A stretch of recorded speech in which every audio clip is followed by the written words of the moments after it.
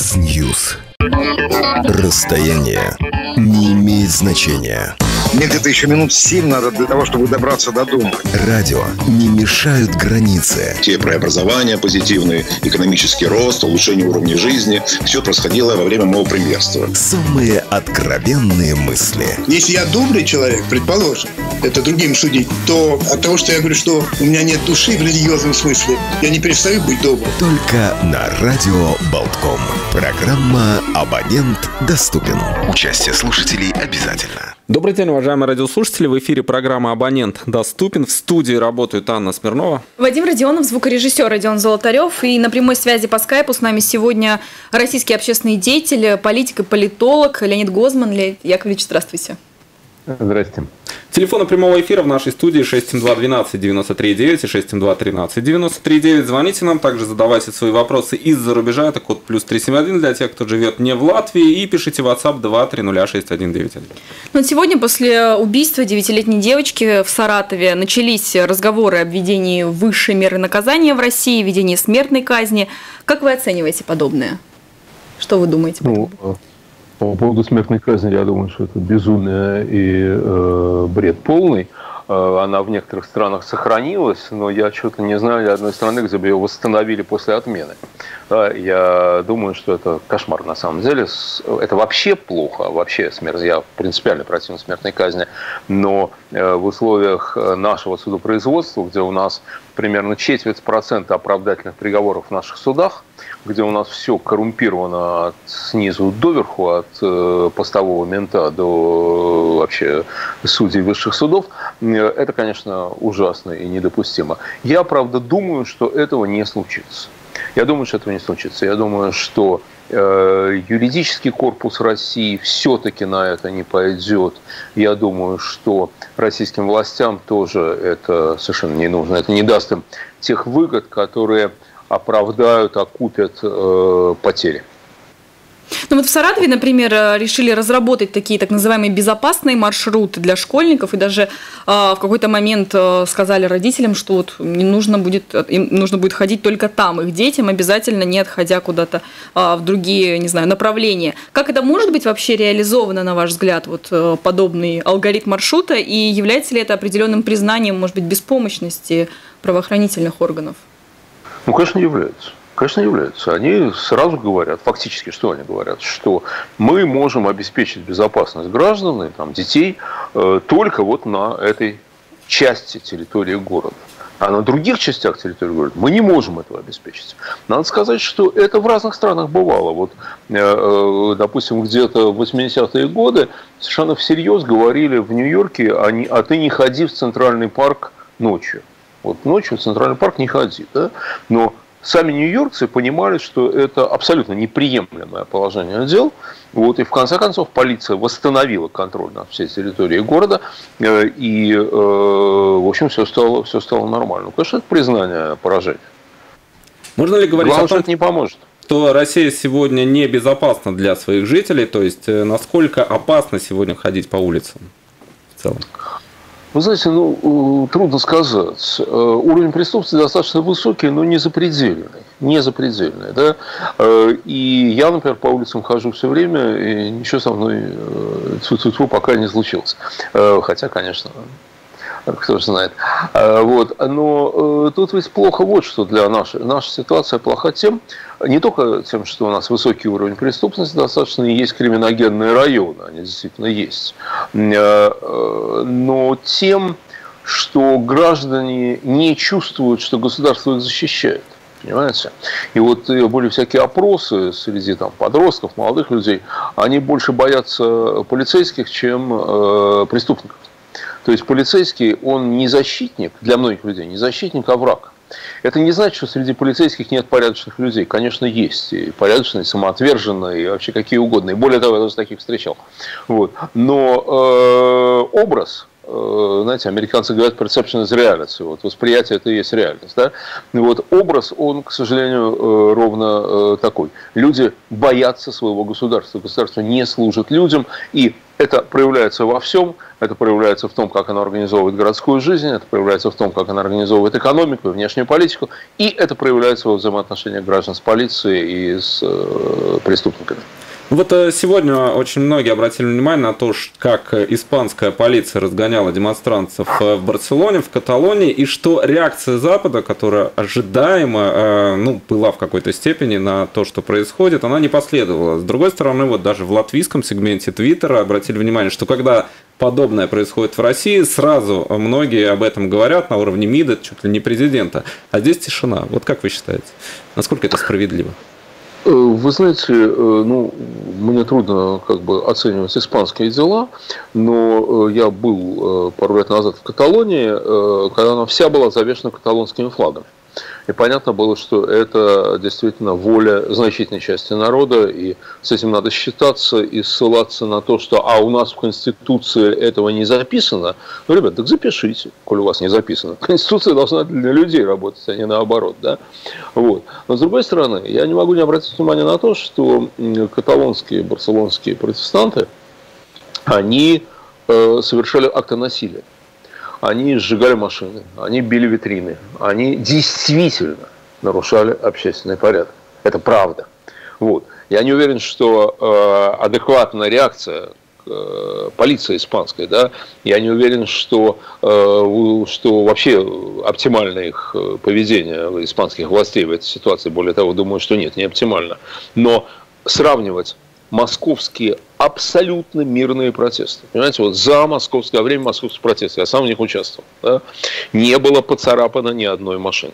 Вот поцарапано не было, да, не было разбито или там поцарапано ни одного стекла, не прикрывалась ни одна улица, никому совершенно не причинили никаких э, неудобств, а тем более там унижения или физического насилия, да. Это был абсолютно мирный протест, да, поэтому мне кажется сравнение не совсем Э, ну, мягко говоря, не совсем адекватно, как неадекватно сравнение с желтыми жилетами, которые тоже за каким-то дьяволом сжигали машины. Я вот не понимаю, если ты недоволен общественным устройством, то зачем сжигать чужую машину? Вот почему тебе от этого будет легче? По-моему, не будет. Ну, сегодня многие называют те события, которые разворачиваются вокруг э, московского дела, таким вторым сезоном сериалов. Или некоторые цитируют известную песню Аллы Пугачева «Я так хочу, чтобы лето не кончалось». А, Куда это все, к чему это все может привести? Опять новая волна очередная, и куда все идет? Э, значит, э, все идет к усилению репрессий. Значит, э, понимаете, вот я психолог, меня представляли разными позициями, но на самом деле я психолог по образованию и, главное, по идентификации. Да, стоит добавить. Я себя чувствую я себя чувствую психологом. Вот. А, понимаете, для нас, для нашей профессии э, очень э, естественно пытаться поставить себя на место другого человека. И вот я пытаюсь поставить себя на место, страшно сказать, Владимира Владимировича Путина. Да? И э, я не вижу для него другого пути, кроме усиления репрессий. Понимаете, он ничего уже, ну он и коллективный он, да, его команда, его власть, которая сейчас у нас в России э, по недосмотру Господа Бога э, правит, э, значит, она э, ничего не может предложить стране. Да? Она не может предложить стране э, нормальной, хорошей жизни, потому что у нас экономика стагнирует, а жизнь ухудшается.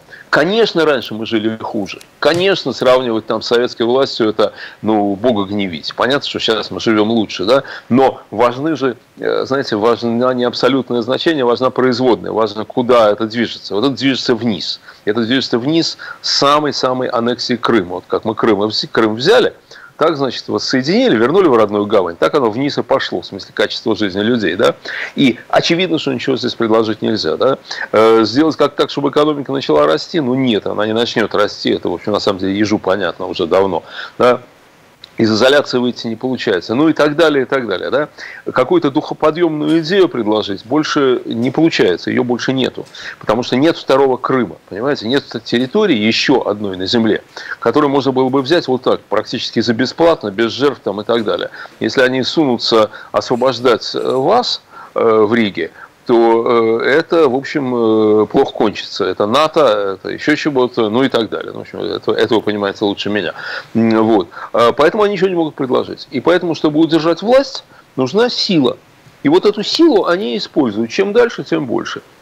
Я не думаю, чтобы они дошли до сталинского уровня репрессий. У них и э, э, тестикул не хватит на это дело, и главное, что это не нужно им абсолютно. Да? У них и ресурсов нет, ну, невозможно. Но то, что репрессии будут увеличиваться, усиливаться, вот это у меня не вызывает никаких сомнений, к сожалению.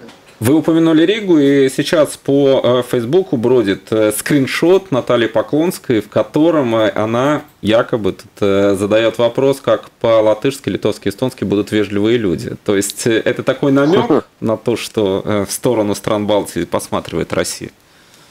Ну, э, я не исключаю, что это фейк, она все-таки не такая дура. А вот, хотя, хотя, может, и правда. Пойди проверь.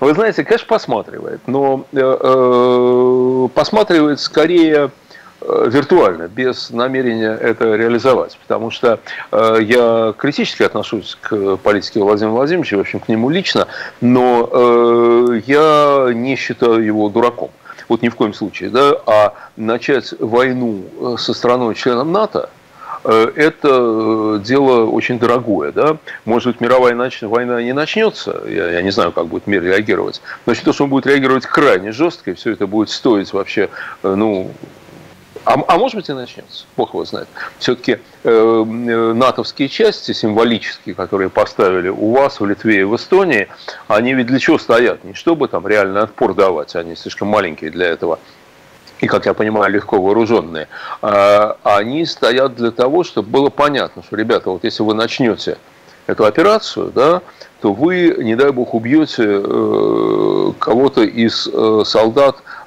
стран НАТО, давно в НАТО состоящих, не, так сказать, новичков, как вы, относительных, да, а вот как бы, ну, э, базовых, да, базовых стран НАТО. Э, вот, э, надеюсь, никого не обидел этим, но вот, ну, просто вот реальность такова, да. И, а на это мы ответим, да, поэтому я думаю, я думаю, что все-таки, ну, пока на том уровне безумства, на котором мы сейчас находимся, вам оккупация не грозит. Пока. Вот. Но безумство возрастает. Вы знаете, если бы 6 э, лет назад кто-нибудь сказал, что мы будем аннексировать Крым и воевать на Донбассе, то э, его бы держали за сумасшедшего абсолютно. Да? А вот нет, случилось.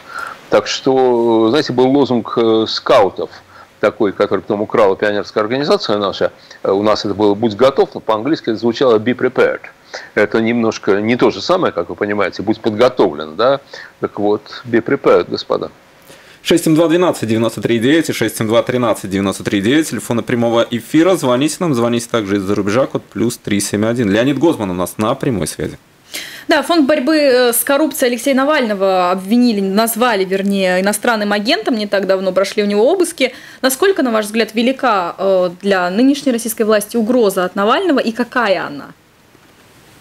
Ну, во-первых, между нас, между названием и обвинением, обвинением и осуждением э, э, дистанция минимальная и даже как бы незаметна, да, вот, поэтому, да. Э, значит, понимаете, фонд Алексея Навального, он, конечно, очень опасен, потому что Навальный до недавнего времени был единственным человеком, который мог собирать массовые мероприятия. Вот. Сейчас появились другие ребята, у нас как бы развивается ситуация, развивается в правильном направлении, вот, в том числе в направлении демонополизации протеста, это тоже очень важно, мне кажется. Вот. Э, но до недавнего времени он был единственным. Его э, разоблачительные фильмы, там, например, там, фильм «Он вам не Димон», про э, Дмитрия Анатольевича Медведева, где он на него гнусно клевещет, значит, посмотрело уже больше 30 миллионов человек. Понимаете? То есть это больше, чем смотрят по федеральным каналам там, и так далее. Да?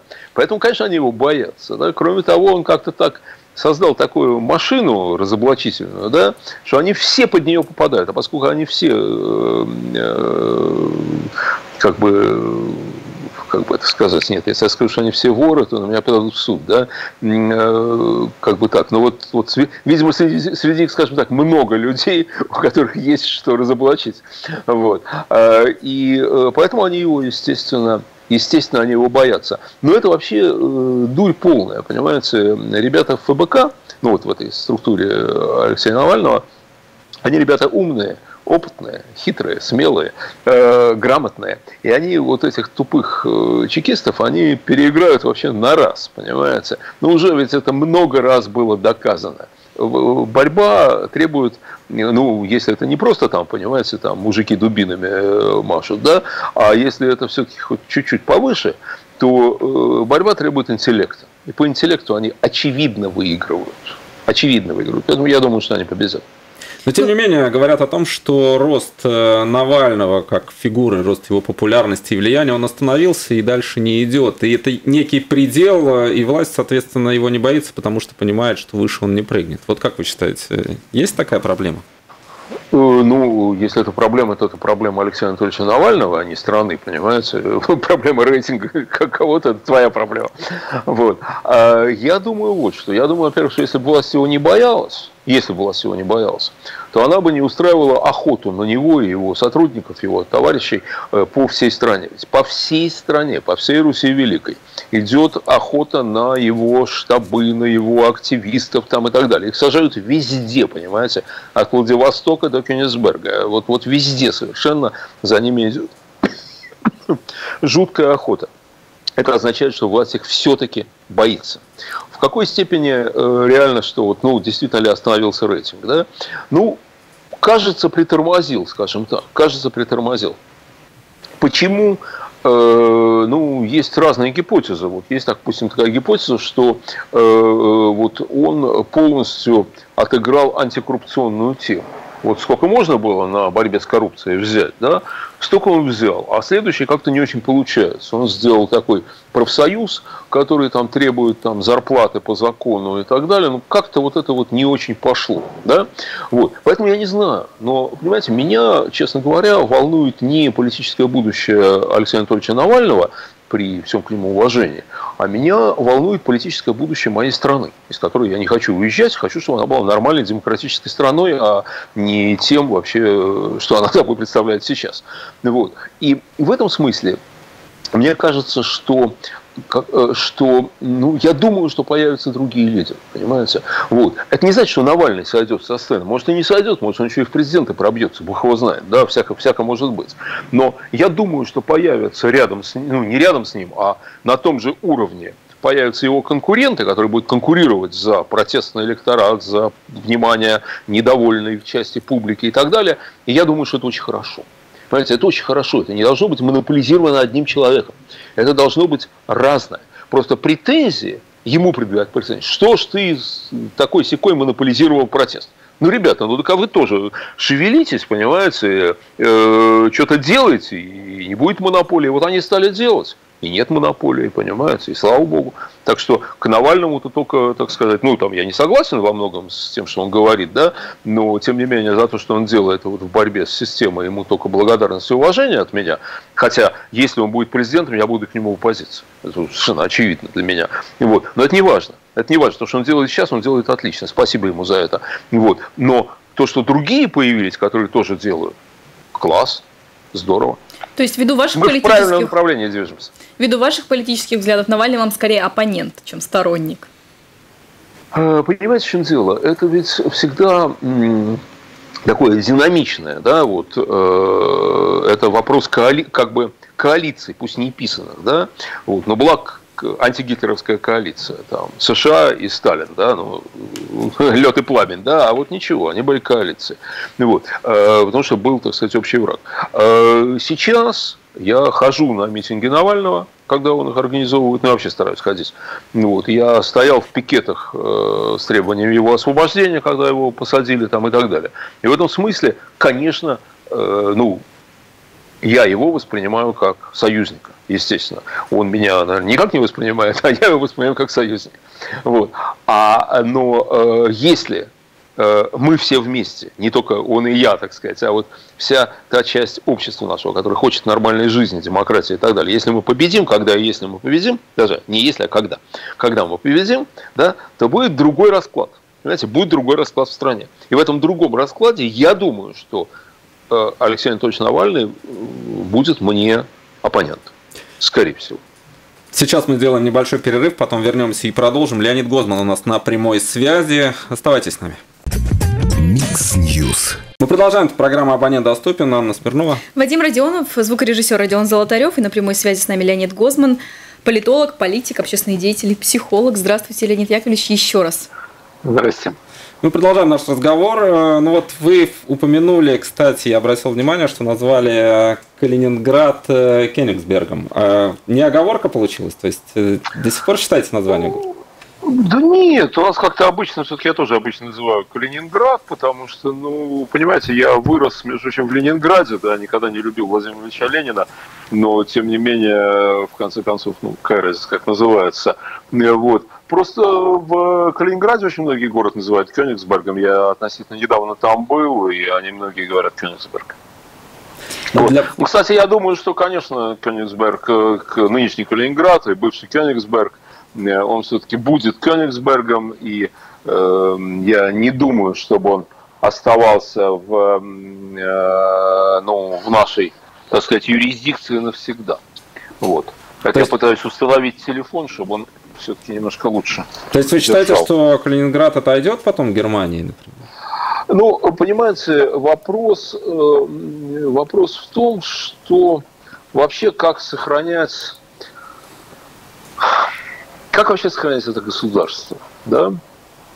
Оно, оно в тяжелом положении, потому что, понимаете, у него нет психологической легитимности.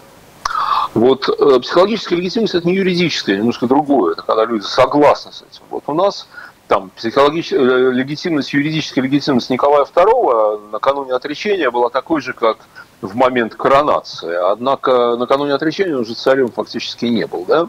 Вот, э, у нас нет электоральной легитимности. Все знают, что э, Путин президент не потому, что за него проголосовали, а за него проголосовали, потому что он президент, все наоборот. Да? У нас нет такой легитимности успеха которая была, допустим, у Аденаура, у многих других. Э, ну, потому что у нас э, от Крыма осталось похмелье, экономика в стагнации, как мы говорили, жизненный уровень падает и так далее. И вот у людей возникает естественный вопрос, а зачем? Все это, да? Но почему они должны принимать эту власть, почему должны принимать это государство там и так далее? Государство пытается придумать какие-то идеологии дурацкие, вот, там, путинизм какой-то и так далее, но это все для чего? Чтобы убедить граждан в том, что никакой другой власти быть не может, что они самые лучшие, единственно возможные там, и так далее. Но этим возникают сомнения. В том числе, конечно, у дальних регионов возникают сомнения относительно того, э, а зачем они находятся в составе империи. Да? И эти регионы, это понятно кто. Это Калининград, конечно, или Кёнигсберг, вот, который анклав, который окружен со, всей, со всех сторон странами европейского сообщества и НАТО, понимаете, где люди видят, что везде у соседей живут лучше, чем у них. Ну так э, тогда зачем оставаться? Вот. Э, и это э, Кавказ, Северный Кавказ. Это может быть некоторые нашей республики, может быть, это Якутия, может быть, это какие-то Приволжские республики, и, может быть, это Дальний Восток, где реальные, реальные связи, реальные такие повседневные связи, допустим, с Японией, с Южной Кореей, с Китаем, сильнее, чем со столицей метрополии. Да? Вам проще долететь до Токио, чем до Москвы, проще и дешевле. Э, ну вот, э, вот так, я думаю, что такое какое-то э, дезинтеграция России, это я не призываю к этому, не потому что это запрещено, потому что я опасаюсь, что это может очень тяжело для всех, и болезненно, и, может быть, даже, не дай бог, кроваво, но это такой сюжет возможный. То есть получается, что Россия в этом смысле не очень стабильна сейчас, по вашему ощущению, как государство, целостное государство? Я думаю, что Россия как целостное государство очень нестабильна сейчас. Это не значит, что она развалится в ближайшие там, год-два. А, понимаете, вот тут удивительная такая вещь. С одной стороны, э, вот есть такие признаки э, будущей там, революции, распада и так далее, которые обычно повторяются в разных странах. Там, раскол элит, там, ну, многое-многое другое. Да? У нас вроде бы ничего этого нет. Да, с одной стороны. С другой стороны, я не вижу людей, вы знаете, вот не вижу ни в одной социальной страте.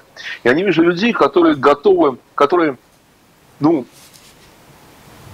любят это государство. понимаете, для которых это государство свое, которые готовы его защищать и рисковать жизнью ради него, и ради его персонификаторов, ради президента Путина, ради других. Вот в августе 91-го такие люди были, и нас было 100 тысяч человек, которые я э, имел честь быть там же, да, 100 тысяч человек, которые встали вокруг Белого дома, и это мы предотвратили победу Путча, потому что они могли, конечно, взять Белый дом, но для этого они должны были убить некоторое количество тех, кто собрались там, а они по ряду причин не хотели этого делать. Да? Если бы там не было людей, не было толпы Белого дома, они бы вошли в Белый дом, расстреляли Ельцина, вообще все бы сделали.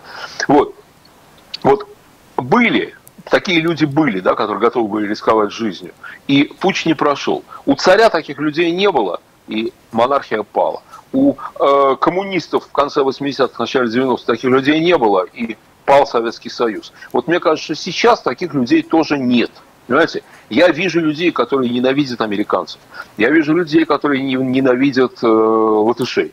Я вижу людей, которые э, ненавидят либералов, да, или там евреев, неважно кого, да. Но я не вижу людей, для которых э, вот э, наши нынешние власти это реально, там, понимаете, лидеры, вожди, за которыми я готов идти, которым я верю, там, и так далее. Вот этого у нас нет вообще. Когда страна живет по закону, когда правят те, кто побеждают на выборах, то и не обязательно это иметь. Понимаете, это не обязательно иметь, потому что э, эм, такая ну, легитимность, идущая от закона, она важнее всего остального. Но у нас-то это не так, ну, к сожалению, пока, по крайней мере, не так. Я надеюсь, что будет так. Но не сейчас.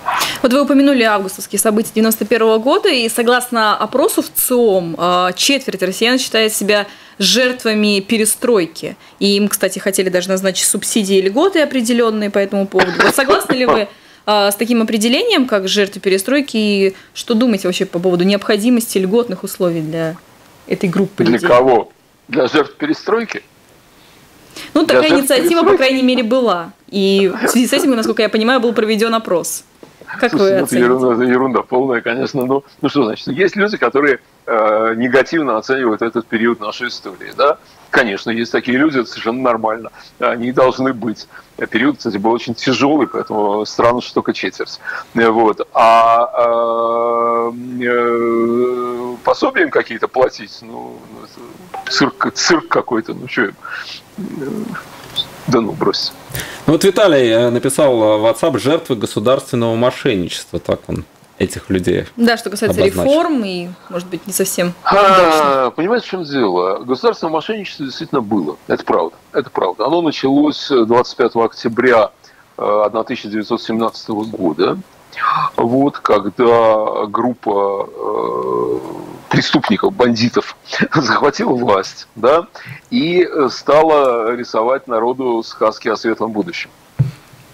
Вот. И они действительно, вот, и весь наш народ, весь наш народ, весь народ империи, в том числе э, э, в течение многих лет э, после вот, аннексии латышский народ тоже, да, или там народ Латвии, да, те, кто жили в Латвии, э, были жертвами этого государственного мошенничества. Это правда. Это правда, к сожалению. Но, понимаете, поскольку жертвами были все, а э, преступники давно в могиле, то с этим ничего не поделать, надо только это преодолевать. Вот Латвия преодолевает по-своему, да, там, не берусь судить, что успешно, что нет, это ваше дело судить, да, не мое. Вот, там, мы тоже стараемся как-то, ну, не очень удачно пока, как мне кажется. На ваш взгляд, э, переосмысление, если не в средствах массовой информации, то, по крайней мере, на площадках Ютуба, которые становятся уже в некоторых случаях даже более популярны, чем федеральные каналы, происходит сейчас? Что-то меняется в медийной политике, в такой информационной политике, может быть? В России? Э, да, в медийной политике, ну, вот, по крайней мере, в такой независимых, свободных, э, свободных ресурсах, складывается консенсус относительно неприемлемости существования того режима, который у нас сейчас есть. Понимаете, наш режим играет со страной в самую тупую в политике игру, в игру с нулевой суммой. То есть так получается, что что выгодно стране, не выгодно правящему, правящей группировке. То, что выгодно правящей группировке, это ущерб для страны. Вот это вот так получается. Да? Ну вот смотрите, например, мы помогаем, мы как государство российское, да, помогаем этому самому картинному такому мужчине Николасу Мадуру, начальнику Венесуэлы, да, вот. По-видимому, от этой помощи есть какая-то выгода там, я не знаю, Сечину, там, в общем, нашим нефтяникам, я не знаю, кому, да, в общем, какая-то выгода кому-то есть, да, но совершенно точно нет выгоды ни мне, ни моей семье, ни моим друзьям, ни моим согражданам, совершенно точно нет, да. И вот понимание того, что это игра с нулевой суммой, что они работают на себя, не на нас, оно становится консенсусным. И поэтому консенсусным становится понимание необходимости смены этого э, режима. Что касается переосмысления прошлого, нет, здесь ничего не происходит, к сожалению. Ну или происходит что-то очень мало и явно недостаточно. А прошлое надо обязательно надо понять. Вот обязательно надо понять. Понимаете, здоровый человек, вот здоровый человек, это же как здоровая нация, ну, гражданская нация, я имею в виду. Ну, здоровая нация должна все про себя понимать.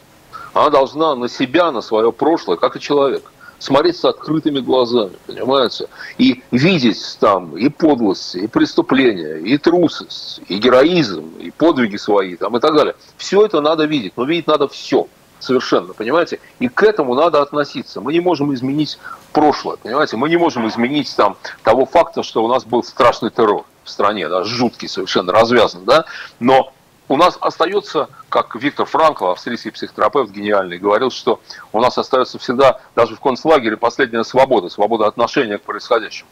Вот пока у нас отношение к происходящему такое, что, ну да, а зато мы построили великую страну, ну так мы и обречены, понимаете, мы идем все время по кругу и остаемся в том же тупике, по факту, да. Мы должны понять то, что произошло, как поняли немцы, между прочим, как поняли итальянцы, как поняли, на самом деле, очень многие – на самом деле. Как я думаю, поняли латыши очень многие моменты, неоднозначные моменты собственной истории.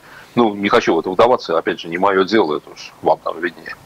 Ну, говоря о переосмыслении, вы сказали о Ютубе, но не раз рассказывали о том, почему вас приглашают на российские ток-шоу федеральных каналов и говорили о происхождении, о косоглазии упоминали, что это им выгодно в определенном смысле э, с точки зрения какого-то имиджа оппозиции. Еще, бы. Еще ну, вот сегодня продолжаете принимать участие, кстати, в ток-шоу?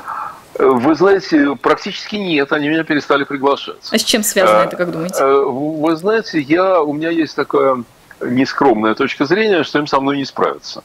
Вот, что они просто проигрывают. Понимаете, слишком много оказывается людей, которые э, э, видят, что я-то говорю правду. А вот эти клоуны, они э, врут. Понимаете, это многие видят. Это многие видят. Ну, я, может, даже, по-моему, вам говорил, что ко мне каждый день подходят на улице люди и благодарят. Вот каждый день. Вот. А, это, конечно, приятно очень, да, но это же еще о чем говорит? О том, что э, люди как бы понимают, кто прав, кто не прав. Ко мне даже, знаете, там же аудитория такая сидит и хлопает по команде обычно, да, прям жестко по команде. И очень часто бывало, что когда камеры выключаются, эти люди, которые хлопали моим противникам и свистели на меня – подходит и говорит, ой, ну вообще-то вы, конечно, правы, мы вообще говоря за вас, там, ну и так далее, понимаете? Вот. Ну я же говорю очевидные вещи, понимаете, очевидные, я ничего такого нового не говорю, я просто озвучиваю, ну, когда меня звали, может, если будут еще звать, я буду еще, еще это говорить, я говорю то, о чем люди думают, но не имеют возможности сказать, понимаете? Вот. И для них важно услышать собственные мысли с экрана, и важно понять, что они не одни. Вот это, так сказать, была моя миссия. Будет ли она продолжаться, зависит не от меня. Будут звать, буду ходить. У нас звонок, э, примем да, его. Слушаем вас. Здравствуйте. Добрый день. Да. Здравствуйте. господин, господин Гозман, очень легко вести, так сказать, вот эту вашу пропаганду э, с точки зрения, так сказать, когда вам, как сегодня, вопросы вообще не задают. А вот вопрос такой, а не кажется ли вам, что вас приглашают э, на телевидение просто потому, что вы просто уже стали неинтересны никому? Спасибо. Спасибо. Понятно. А, значит, ну, во-первых, мне кажется, что э, Анна и Вадим мне вопросы задавали. Вот, у меня сложилось такое, сложилось такое ощущение, возможно, иллюзорное, вам, конечно, вам, конечно, э, виднее. Э, вот, а, значит, вы знаете, я думаю, что вы не правы. Я думаю, что меня зовут, не зовут или стали меньше звать не поэтому. Я сужу вот почему. Когда я там все-таки появляюсь, да, то большую часть времени вся эта группа уважаемых экспертов, приглашенных на телевидение, кроме меня, а также ведущих, они общаются именно со мной. Они мне возражают, они на меня наезжают, там и так далее. Как-то вот так получается, что, там, сказать, вот их, допустим, 10 человек, я один, но половина времени все равно моего. Да? То есть я думаю, что это означает, что э, я, э, ну, понимаете, слово интересен, трудно, я не знаю, правильно ли оно, но пока я вызываю какие-то эмоции по отношению э, к себе. А еще мне, в общем, говорили, что, ну, я не могу это проверить, там мне говорили сотрудники телевидения, что передачи с моим участием имеют более высокий рейтинг. Вот. Это, конечно, связано не с тем, что я такой великий, а э, с тем, что я говорю не то, что у них принято говорить, вот, а говорю что-то другое, но людям становится интереснее. Вот и все. Ну что ж, на этом мы сегодня завершим нашу программу. Леонид Гозман у нас был сегодня на прямой связи. Программа «Абонент доступен». Эфир провели. Да, Вадим Родионов, Анна Смирнова и звукорежиссер Родион Золотарев. Спасибо вам, всего доброго и до свидания. Спасибо.